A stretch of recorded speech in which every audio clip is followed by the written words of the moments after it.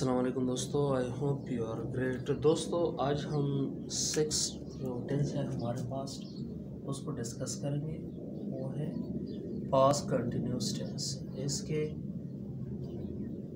इस्तेमाल को हम ज़रा गौर लेंगे आज फिर भी सबसे पहले स्ट्रक्चर पे फोकस करेंगे कि स्ट्रक्चर में हमारे पास इस टेंस में सब्जेक्ट प्लस वॉज़ वर है। सिंगुलर के साथ वॉज़ प्लूरल के साथ verb plus I N G and rest of sentence ये तो हो गए पॉजिटिव स्ट्रक्चर की। अब हम आते हैं नेगेटिव की। नेगेटिव को वही पुराना रूल है कि वॉज़ वर के बाद क्या है? नॉट लगाए was were plus not structure वही फिर सेम आएगा। Were plus I N G and rest of the sentence तो ये नेगेटिव स्ट्रक्चर होगा। प्लूरल को जब सॉरी इंट्रोगेटिव को हम जब बनाते हैं तो वॉज़ वर को सब्जेक्ट से पहले ले आते हैं। उसके बाद हम सब्जेक्ट लिखते हैं। उसके बाद verb by G and last में रेस्ट ऑफ़ सेंटेंस और लास्ट में हम क्वेश्चन मार्क लगाते हैं। बहुत से स्टूडेंट्स क्वेश्चन मार्क को स्किप कर जाते हैं, क्योंकि ये एक गलत तरीका है। बस हम ये टेंस कहाँ पर इस्तेमाल करते हैं। इसकी भी वजाहत मैं एक डायग्राम से आपको दूँगा। कि फॉर एग्ज़ाम्पल ये भी पास्ट में है, ये भी पास्ट में है। ये हमारे साथ प्रेजेंट है। तो हम इस डायग्राम से कैसे मालूम करेंगे कि पास कंटिन्यूस को हम कहाँ पर इस्तेमाल कर सकते हैं? ब्रस पास कंटिन्यूस की मेन डेफिनेशन ये है कि एक ऐसा अमल, एक ऐसा एक्शन जो पास्ट में एक थोड़े से अरसे के लिए जारी हो। लाइक फॉर एग्ज़ाम्पल कल आठ बजे मैंने बुक उठाई, आठ बजे, और मैंने रीडिंग का आगाज़ किया। तो एक्शन क्या था? प्रोग्रेस में था। और जब नौ बजे हो गए तो मैंने एक्शन क्या किया? ख़त्म हो गया। तो अब यहाँ पर देखिए कि ये जो आठ बजे है और ये नौ बजे है, इसके दरमियान में ये एक्शन क्या था? कंटिन्यूस था प्रोग्रेस में था। तो इस तरह के सिचुएशन को जब हम ज़ाहिर करते हैं कि पास्ट में एक ऐसा एक्शन सम टाइम के लिए प्रोग्रेस में था तो वो हम पास कंटिन्यूस में लिखते हैं। लाइक फॉर एग्ज़ाम्पल यही example I was reading a तो आप यहाँ पर देख सकते हैं कि पास्ट में ये एक एक्शन जो है, क्या था?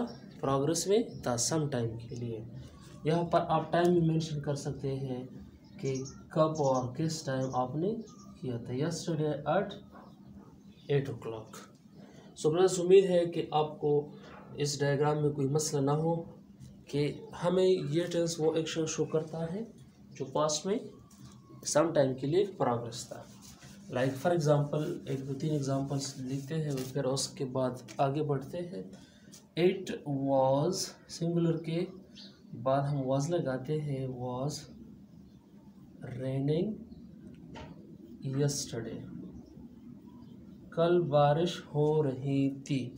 तो यहाँ पर भी है, जो बारिश हो, वो पास्ट में हो या कल हो सम टाइम के लिए क्या थी? प्रोग्रेस में थी कंटिन्यू थी।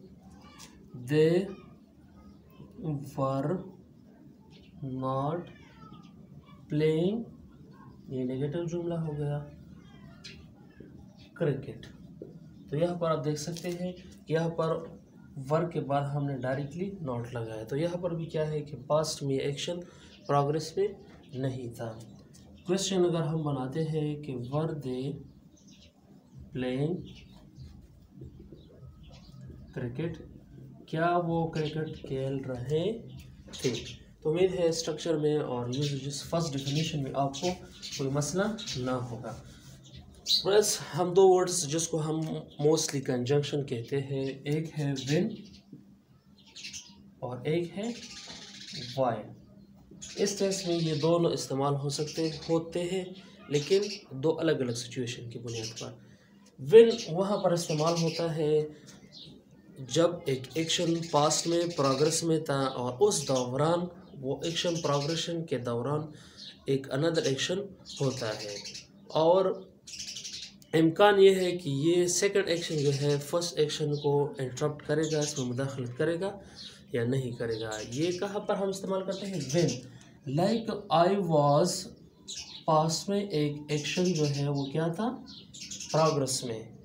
I was reading a book इस दौरान में हमारे पास क्या था? ये एक्शन कंटिन्यू है पास्ट में।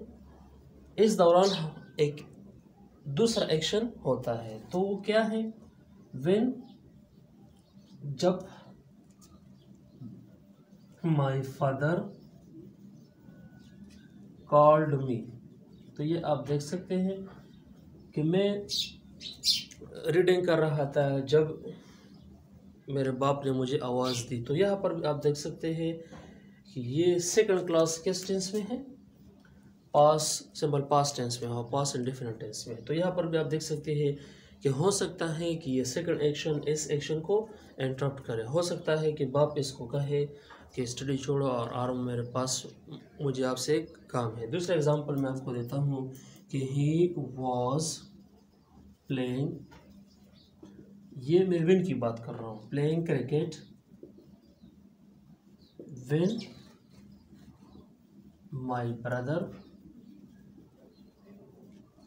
my brother arrived तो यहाँ पर भी आप देख सकते हैं कि मैं जो है क्रिकेट के सॉरी वो क्रिकेट खेल रहा था जब उसका भाई वहाँ पर आया। तो यहाँ पर भी सेकंड टेंस जो हम विन क्लास की लगाते हैं कीप इन माइंड ये सिंपल पास टेंस में होगा। तो यहाँ पर आप देख सकते हैं कि एक एक्शन क्या था? प्रोग्रेस में है। सेकंड एक्शन क्या था? उस दौरान हैपन हो गया हो गया है। तो इस एक्शन का इम्कान ये है और इम्कान नहीं भी है कि ये फ़र्स्ट एक्शन में मुदाखलत करे और उसको कहे कि आप ये क्रिकेट छोड़े और मेरे साथ आए। तो ये विन हो गया। अब वाइल की तरफ़ आते हैं कि वाइल हम कहाँ पर इस्तेमाल करते हैं। बस जब दो एक्शन पास में सिमल्टेनियसली एक ही वक्त में हमारे साथ प्रोग्रेस में हो तो हम वाइल लगाते हैं। Like she was reading a book while her brother was watching TV तो यहाँ पर भी आप देख सकते हैं कि ये एक्शन जो है, ये क्या है? प्रोग्रेस में है। और सिमल्टेनियसली उस ही के वक़्त के दौरान ये सेकंड एक्शन क्या है? ये भी प्रोग्रेस में है। तो आप देख सकते हैं कि यहाँ पर भी क्या है? दो एक्शन जो है, वो क्या है? एक ही वक्त में, एक ही सिचुएशन में प्रोग्रेस में है, जारी है। एक दूसरा एग्जांपल मैं आपको देता हूँ कि इट वॉज़ रेनिंग बारिश हो रही थी। While I was reading a novel तो यहाँ पर भी आप देख सकते हैं कि बारिश हो रही थी और मैं एक नावल पढ़ रहा था। तो हमारे पास तीन सिचुएशंस हो गए कि पास कंटिन्यूस हमें वो एक्शन दिखाता है जो पास्ट में सम टाइम के लिए प्रोग्रेस हो स्पेसिफिक टाइम में आप टाइम को भी मेंशन कर सकते हैं। एक ऐसा एक्शन जो पास में प्रोग्रेस हो, उसी दौरान दूसरा एक्शन हो, यहाँ पर हम क्या है? वेन और जो टेस्ट लगाते हैं, वो पास्ट इंडिफिनिट और सिंपल पास्ट के लगाते हैं। थर्ड इस्तेमाल इसका ये है कि जब पास्ट में दो एक्शन सिमल्टेनियसली एक ही वक्त में प्रोग्रेस में हो, वहाँ पर क्या है? हम वाई लगाते हैं। और वेन में ये बात आप जहन में याद रखें कि ये सेकंड एक्शन जो है, ये इंटरप्ट करेगा, मुदाखलत करेगा। और इम्कान है इसका कि ये करेगा भी या नहीं भी करेगा। तो उम्मीद है आपको इस टेंस में कोई मसला ना हो। अगर आप चैनल पर न्यू हैं तो चैनल को भी सब्सक्राइब करें और बिल के आइकन को भी प्रेस करें और मोर इन्फॉर्मेटिव वीडियोस के लिए हमारे चैनल के प्लेलिस्ट को भी विज़िट करें ताकि आपकी इंग्लिश लैंग्वेज में मोर इन्फॉर्मेशन आपके माइंड में आ जाए।